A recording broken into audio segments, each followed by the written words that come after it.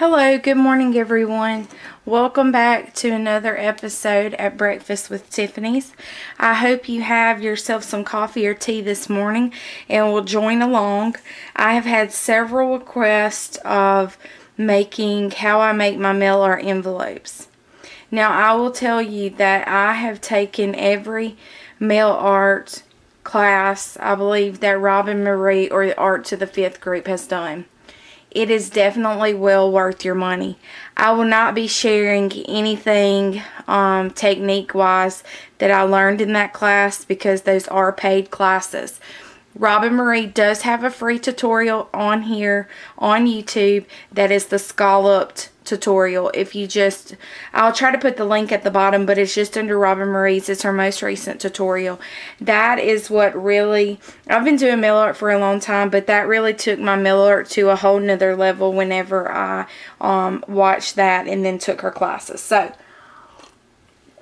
I'm to share with you kind of Tiffany's version and how I have come up with a few different things um, to be able to show you guys. I do highly re recommend those classes if you do enjoy um, mail art because it is very beneficial. So let's go ahead and get started about the tools that you will need. I realize that everyone does not have as many craft supplies as I have. Trust me, my husband would rather me be in that boat as well. So um, when I talk about these supplies, don't be concerned if you do not have that particular supply. There is always an alternative that you can uh, use. Just think outside the box whenever you're looking for stuff around your house. We're going to need some paint, of course. Um, I'm going to be using my favorite colors. Um, Caribbean, Apple Barrel. Um, this is Ocean Breeze, Craft Smart, Martha Stewart, Spring Pasture.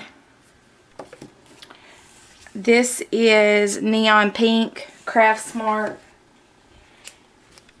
Apple, Apple Barrel. Uh, apple, Jesus, that's yellow. Yellow apple barrel paints. And then, of course, just your basic white and black.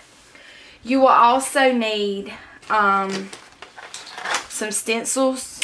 I'll be using a mixture. Some of those will be the um, hot glue stencils that I show you how to do in another tutorial that I've done. So if you haven't viewed that, I'll try to link that at the bottom as well. That's a really fun process. I'll also be using some rubber stamps. The rubber stamps I will be using will be the ones that I've actually carved. Um, you use what you have. If you don't have a stamp that you think would work, then it's okay to draw um, and doodle in those areas. That's not a problem. I'll also be using with those stamps the archival waterproof ink just to ensure that it doesn't smear or smudge as we go through the process. I will be using um, some new sprays that I got and I actually kept the package. This is um, the spray paints um, Tulip fabric paint. It's a permanent paint so it works really well for what we're going to be doing because unlike Dylusions and some of the other um, spray inks, this actually does not reactivate with water. So that's a win-win. Um, I got the neon selection and since I have taken them out and put them in one of my little buckets. So I'll just be grabbing these as I go depending on what color it is. You can use any spray that you want just make sure if you do use the Dylusions ink that you um, seal it with either some type of um, cheap hairspray or any other kind of sealant that you have. You'll also need, if you're going to follow it exactly the way I do it, I use a 12 by 9 inch um, envelope in white. Now this you don't have to use this particular envelope. That's just what I have. I have a bunch of those envelopes. Ah, that tea is good this morning. Okay, I also use a This is just a piece of craft foam that have the little patterns. I love the little dots that it has. So we might use that, we might not. It just depends on what's tickling my fancy this morning, whether we're going to use that or not, but that is optional. I'll also be using some gesso and a palette knife. My gesso is just about out.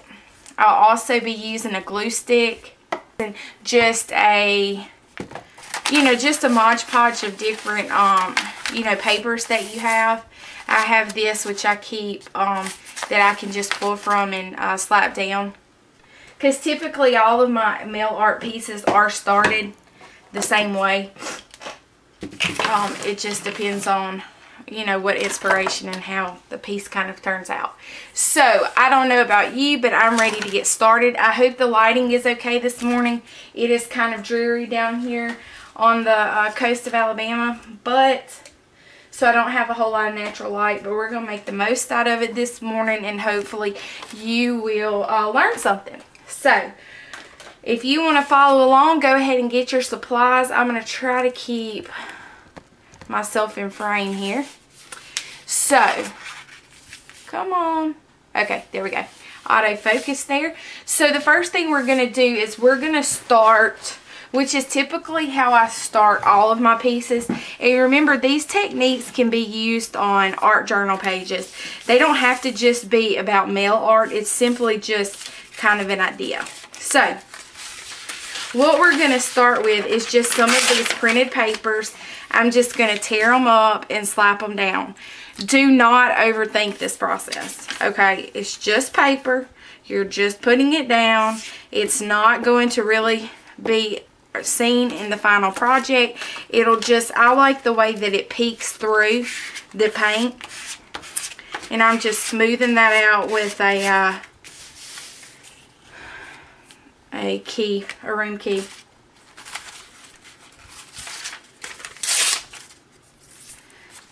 I like using some of this uh,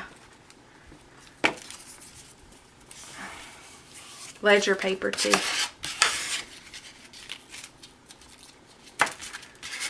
I'm going to put you in uh, time lapse because this video may take a while anyway.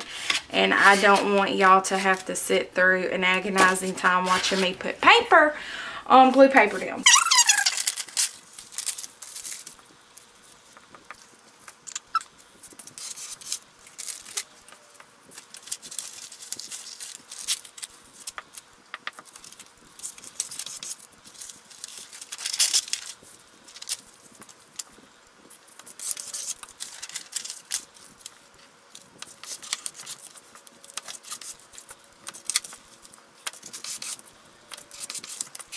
Okay, so I'm back. This, particular piece, I'm thinking this is uh, fine. I just like to get a little bit of paper. It doesn't have to be covered from corner to corner, edge to edge, um, the way I sometimes do in my tutorials. Just make sure that your glue, adhesive, whatever kind of adhesive you're... The next step we're going to do is we're going to take a little bit of this gesso. And all you're going to do is just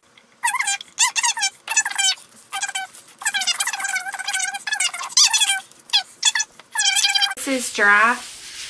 The next part we're going to be using the paint that we already, um, that I already showed you earlier in the list. So I'm going to be using a catalyst.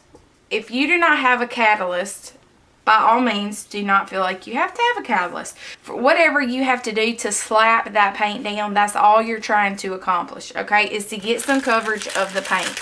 Y'all know I love to slap that paint down. So, I'm going to just start with my colors here, and I'm just going to rub it in different areas.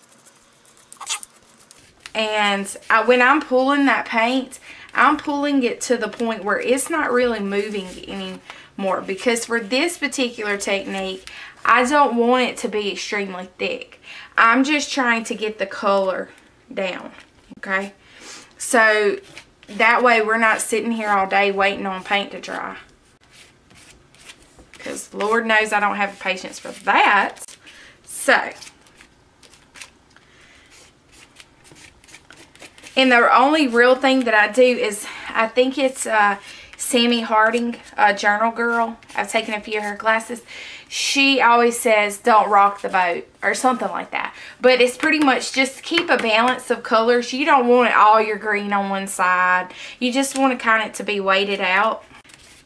I really people think like, oh my gosh, Tiffany, you could make those things so fast. But it's really not that. It's just that I cannot stress about paint, paint and envelopes. I'm sorry, I have too many other things going on in my life that I have to stress about. So for me, this is a way to relax and don't stress for God's sake about your envelope. Goodness, Lord have mercy leave some white space. You do not have to do this exactly how Tiffany. Remember, Tiffany is the idea girl. I like to come up with ideas. That's pretty good as far as coverage is concerned. Okay, we're back for the next step here. So what I'm going to do at this point is I'm going to grab some of those stencils and I'm going to use those for the next layer because we all know mixed media is about layer upon layer and building the depth that you have in in your backgrounds and so forth. So for this particular one I'm going to use some Punchinella. I think that's a crafter's workshop stamp there. I'm going to use my swirly whirly um, hot glue stencils in the kind of little diamond shaped ones. Okay. So. Okay, just like that. That's how I'm going to put them down. I don't know what this is called because it doesn't have a color on it. But I'm just going to take a spray and I'm just going to give it a little mist. Okay. I'm going to get another color.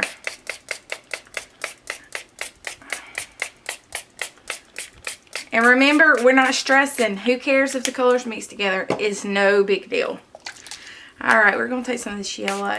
Yellow is my mom's favorite color. And I never thought that I would like yellow and orange and stuff. But it is really growing on me. Alright, let me see. How we looking? Hmm. I think I'm going to go back with a little bit of white tea. Just a little bit. Okay, so now what I do is I take the stencil, I pull it off. Okay? Follow me so far? I hope so. Then I take the stencil and I flip it over. And I get my hands all messy. Ayana, this is for you, girl, because I know you don't like to get your hands all messy. And then I just work it around like that. And then you have these little pieces of darker colors that come off onto that.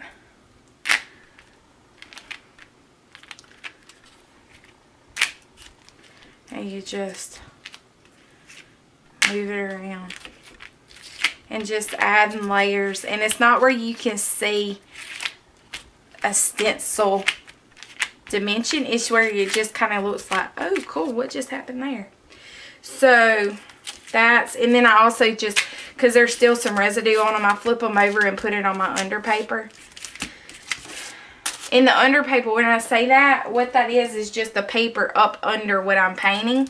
That's going to be put picking up all those beautiful little things of colors that we're using.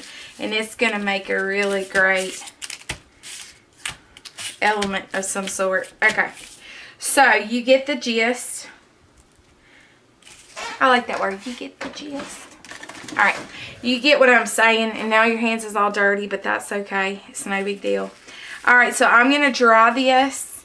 And then we're going to go on. So can, I hope y'all can see what I'm talking about. About how all the different kind of stencils. And then when you flip them over. How they kind of mesh together. Alright. I'll be right back. Okay. So we're back. Our envelope is pretty dry. Um, it does take a while just because of all of the spray that I put on there. Um, at this point, what I, I typically do, okay, is I go ahead and get me a little crease. Because what we're going to do is we're going to fold this up. And this is where our envelope is going to become. We're going to sew down the side, okay? But I like to see where my crease is going to go. And I'm going to try to line this up without getting my head all in it. So I just kind of put like a little crease in there and then I open it back up. That way it kind of gives me a line as I'm going through and adding elements. How many, you know, what how, how I want to do it, you know. So it gives you a good idea.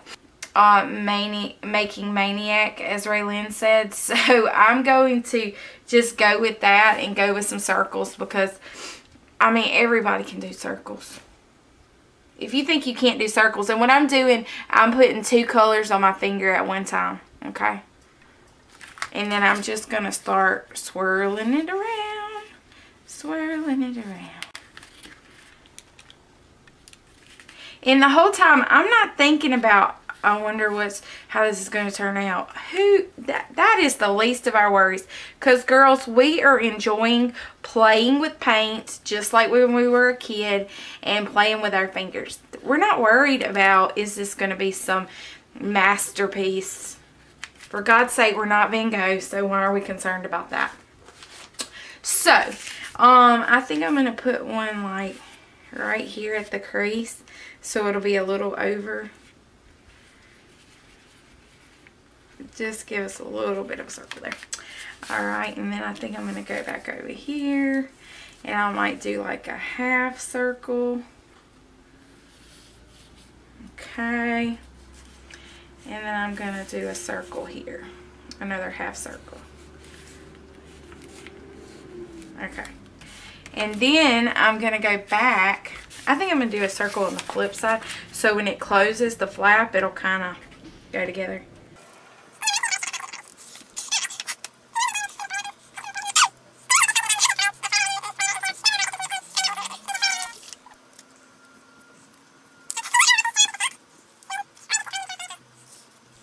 Because we're not through with our circles. We're just going to let them dry so we don't continue to mix the colors anymore because that's about as good as mixing I want to do. So I'm going to dry these and then I'll be back. Okay, so now I am at a point where these are pretty dry. Not 100%, but they're pretty dry.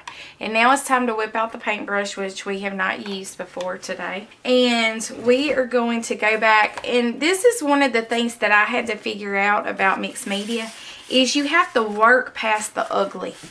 There's always a stage where you're like, Dear Heavenly Father, I don't know what I was thinking. I don't think this is going to turn out. And then you start having those words of self-doubt. Well, that's not good for anyone. So you just have to battle through. And you just have to keep pushing through the ugly. Everybody has it. Every artist that paints there's a stage in their painting where they think this is the ugliest thing they've ever seen. Well, maybe not the ugliest thing, but you know what I'm trying to say.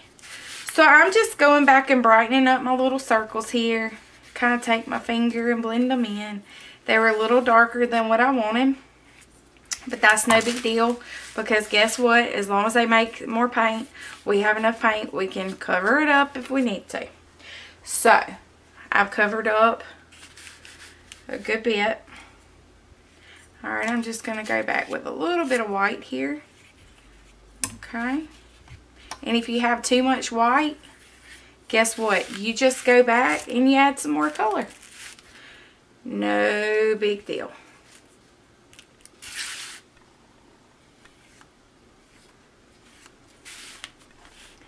For me, my painting is like therapy is cheaper than a therapist and it really helps make my life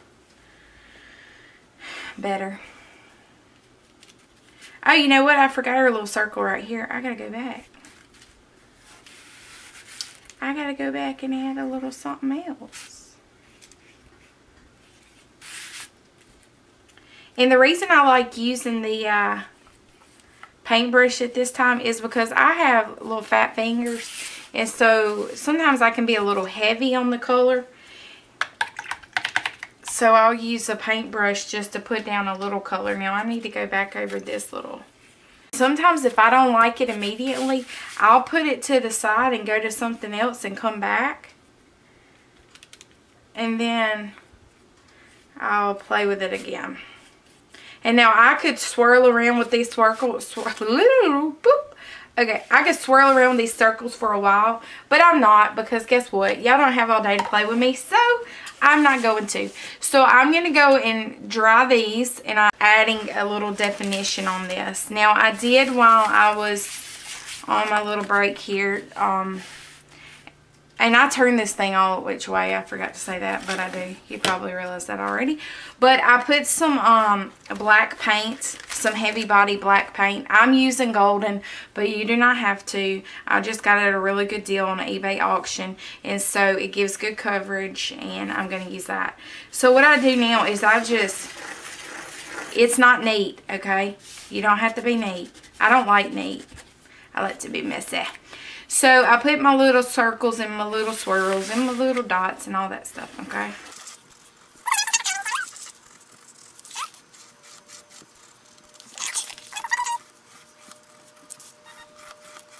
As a flower. So I'm just to start making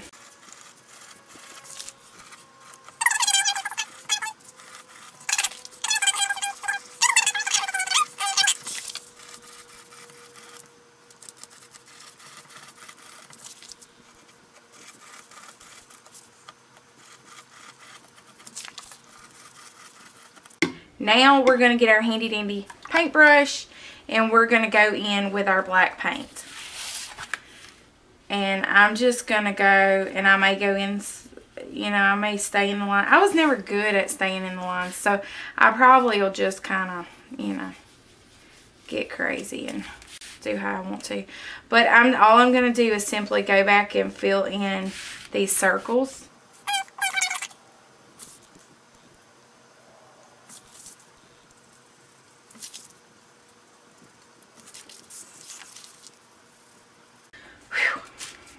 Okay, so now I have all my little black circles filled in. Anyway, I'm going to dry this and then I'll be back. Okay, so while we're waiting on this to dry, I want to make an arrow um, on this piece of paper to go on our envelope. So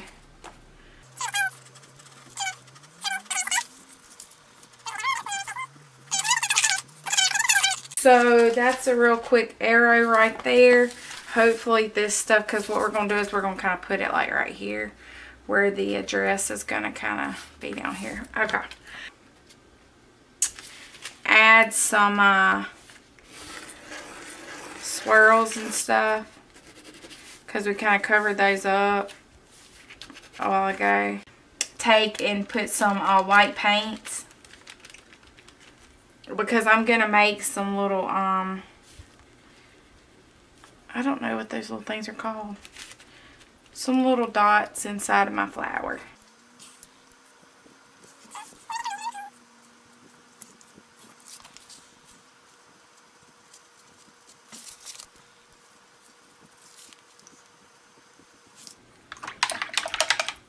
Alright, so now while we wait for that to dry, we're going to go back. I'm using um, a Uniball Signo pen. I just got this from Amazon. The Rage was all about it, and I was like, okay, let's, I got to check this out. This is freaking awesome. This pen is really, I'll never go back to using any other kind of white pen ever again because this thing is beautiful. And that's just going to make our petals pop.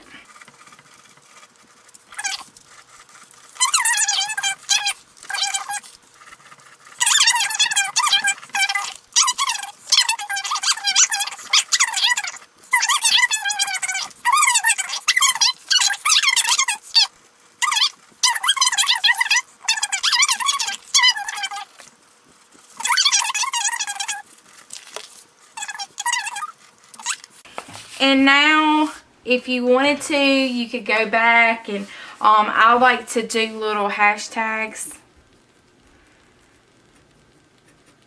and little things like that. Little marks. And now, I want to go back with my um, Stabilo All Pencil. just in the middle. Just a little bit. It doesn't take very much of this, okay? If you do not have a Stabilo All pencil, then this to me is beautiful. The Stabilo All, you'll see what it does. It just gives it a little bit. I'm going to activate it now with the water. Just make it pop.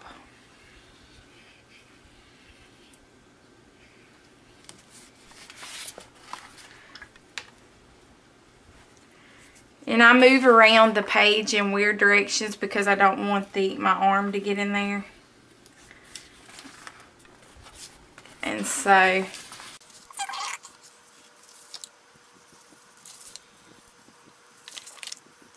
Right, that's just one extra little um, way to add additional depth. Okay, so now at this point, I'm going to add my arrow. Here's the side I want to do it on. And so what I'm thinking is I'm going to cut off some of this under paper. I got this from uh, Robin Murray about cutting the um, colors that you've already used. And we all know I can't cut straight, so I'm not even going to. So how those colors match, and that's a good size for an address. So I'm going to because this is going to be like this. So I'm going to go ahead and get my UHU glue stick and glue that down.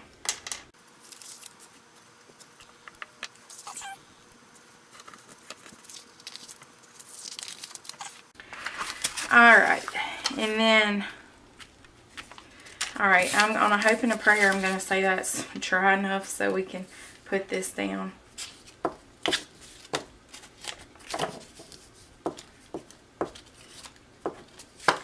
Alright, we're going to put this down like right here.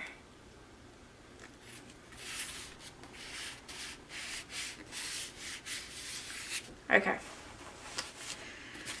Now, most of the time, I go back and just put some scratches of just regular um, pencil marks just because I'm a wild and crazy woman like that. And I like the scratchiness. I don't like perfection. I have to have perfection in my daily job and with art I don't want perfection. I want to be able to be a free spirit. So I'm going to go back and just kind of accent this a little bit. This then I'm going to go back and just do a little. Now you could very well because see how our envelope's gonna be? We could go back and stitch this and it's not gonna be a problem. Because when I stitch the sides up guess what? That just made a pocket for our contents. Now if you don't then you have two pockets. You have a pocket here hold on. You have a pocket here and then you have a pocket here so when we stitch it up. Now you could go back and do stitches on this around the outside and that's not going to be a problem. Just use your sewing machine and do some stitches. Okay, and so I'm just going to make those little swirly marks. Everything matches. Great time. Okay, now another element that we're going to add is I'm going to grab my stamp here and I'm going to use my little handmade stamp and I'm just going to add just a little bit of pop to it. A little oomph.